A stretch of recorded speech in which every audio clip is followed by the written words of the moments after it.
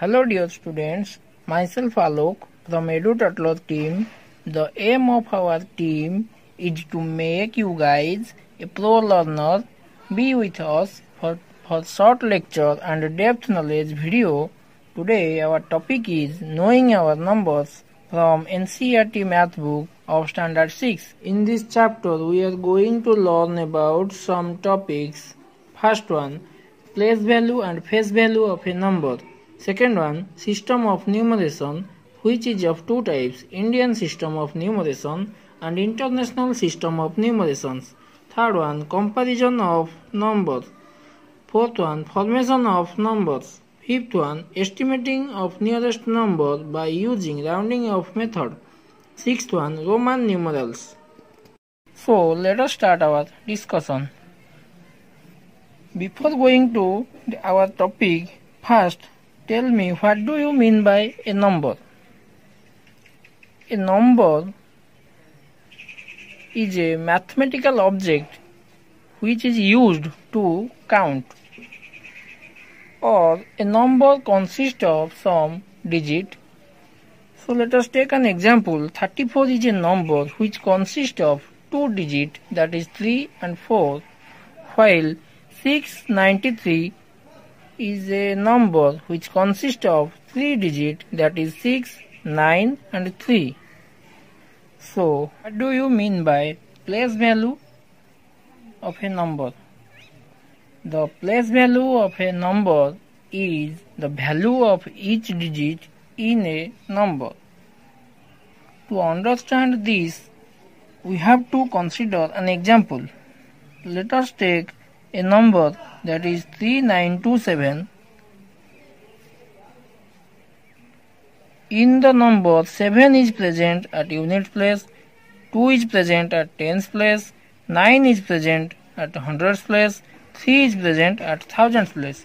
Suppose we have to find the place value of 2 we have to multiply the digit itself with its place value that is the digit 2 into its place value 10 is equal to 20, the place value of 9 is equal to the digit itself 9 into its place value that is 100 is equal to 900. Similarly, the place value of 3 is equal to the digit itself into its place value that is 1000 is equal to 3000.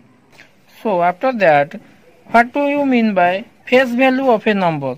The face value of a digit is the digit itself. Let us take an example. In the number 3927, the face value of 2 is 2, the face value of 9 is 9, the face value of 3 is 3, and the face, face value of 7 is 7. Then we have to move expanded form of a number. Let us consider an example. Consider a number 9127. In this number, 7 is present at unit place, 2 is present at tens place, 1 is present at hundreds place, while 9 is present at thousands place. So we have to write 9 into its place value that is 1000 plus 1 into its place value that is 100 plus 2 into its place value that is 10 plus 7 into its place value. Then come to method of numeration. It is a process of reading and writing of numbers. It is of two types. First one is Indian system of numeration and second one is international system of numeration. First we will see Indian system of numeration. These system of numerations are generally used in India. In Indian system of numerations, there are four periods. And what are the four periods? That is crore, lakh, thousands and units. I will repeat again. That is first period is crore, second period is lakhs, third period is thousands and fourth period is units. Again, these periods are subdivided or divided into some places. That is, units period is divided into three places. That is, hundreds place, tens place, ones place. The thousands period is divided into two places that is 10,000 The lakhs period is divided into two classes that is lakhs class 10 lakhs. The crore period is divided into two classes that is crore and 10 crore. I will repeat again. The units period is divided into three classes that is ones place, tens place, hundreds place. The thousands period is divided into two classes that is thousands, ten thousands. The lakhs period is divided into two classes that is lakhs, ten lakhs. The crores period is divided into two classes that is crore class 10 crore. Then we will see how can we write the number. Let us consider a number. I will take a number this one. Then how can we keep this number in the table? Then and how can we keep the commas and how can we read the numbers according to Indian system of numerations. You have to start from the right end of the number. Now you can separate this by putting commas that is you have to start from right end and putting commas for each period. That means after three numbers from the right end you have to put one comma here and then another period from that that is thousands period that means two period classes. After two numbers the you have to put a comma. Then another period you have to put comma here. Then this way you can separate the comma. Then after separating commas we have to read this number as 85 crore 92 lakhs 37,465. I will read it as 85 crore 92 lakhs 37,465. We will write here 85 crore 92 lakhs 37,465. This is how you can read the number by the help of Indian system of numerations. I hope you all understood the Indian system of numerations. Then we will go to international system of numeration. These system of numerations are generally used internationally. That means all over the world. Similarly, International system of numerations are also divided into some periods and again some periods are subdivided into some places. In international system of numerations there are four periods that is billions, millions, thousands and units. I will read again billions, millions, thousands and units. And again these periods are subdivided into some places that means units of period is divided into three places. That is ones place, tens place, hundreds place and thousands period is divided into thousand place, ten thousand and hundred thousand. Millions period is divided into three places. That is million, ten million, hundred million and billion periods is divided into three places. That is billion, 10 billion and 100 billion. Then let us take an example. I take this one as an example for in the similar process we have to put the number in the table from the right hand right hand side. So we have to put 4 here and 2 is here, 1 in hundreds place 9 in thousands place, 8 in ten thousands place, 6 in hundred thousands place, 7 in millions place, and 5 in 10 millions place. In this way, we have put the number in the table. Then after, we have to use comma to separate periods. Same process is repeat we have to put comma from the right end. So after first period, that means we have to put first comma after three digit. That means we have to put a comma here and again after a period that means three places. That means we have to put second comma here. Then how can we read this number?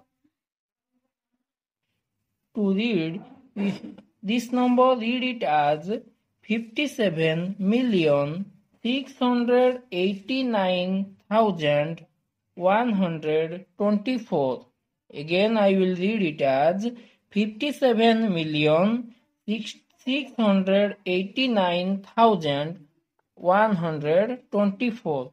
So, in this way, by the use of international system of numerations, we can read the number.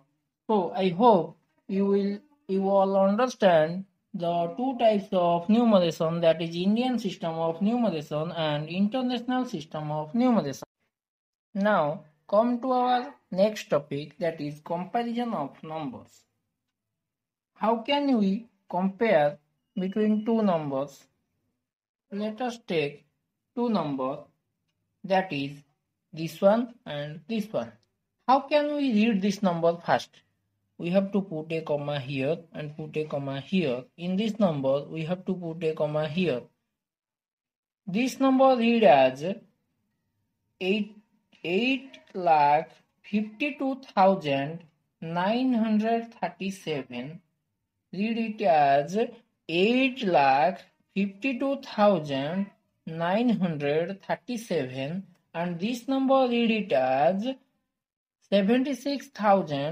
76,519 again 76,519 so how can we separate this number we have to to find the bigger number, we have to count the digit first. It is a 1, 2, 3, 4, 5, 6. It is a 6 digit number. While 1, 2, 3, 4, 5. This one is a 5 digit number. We all know 6 digit number 6 is greater than 5. So here the 6 digit number that is this one is greater than 5 digit number this one so we have to write 8 lakh 52,937 is greater than 76,519 so let us take another example that is this one how can we read this number this number read it as 53,700 24. This number read as 53,215. So how can we compare? First count the digit 1, 2, 3, 4, 5. This is a 5 digit number. This number 1, 2, 3, 4, 5. This one also a 5 digit number. So how can we compare if the digit are same. Then if the between two numbers the digits are same then we have to consider the digit present in the left hand side of that number here the in the left hand side the digit present is 5 and also here also 5 so if the digits are in the left side are same then we have to consider the adjacent number of left side digit. So we have to consider again this not this digit that means 3. Here the second digit is 3 and here also second digit is 3. Again if the digits are same then we have to consider the second adjacent digit that is 7 and here that is 2 so here we conclude that 7 is greater than 2. So this number is greater than this number. So we can write 53,724 is greater than 53,215. In this way, we can compare between two numbers to find the greater number and smaller number. I hope you all understood the topic covered by me. If you have any doubt regarding this, then you can ask me in the comment section. Thank you. If you have not gone through our previous lessons, then click here. Don't forget to like, share and subscribe to our channel for video tutorials on math and science from class 6 to 10 and press the bell icon for upcoming video notification. Thank you.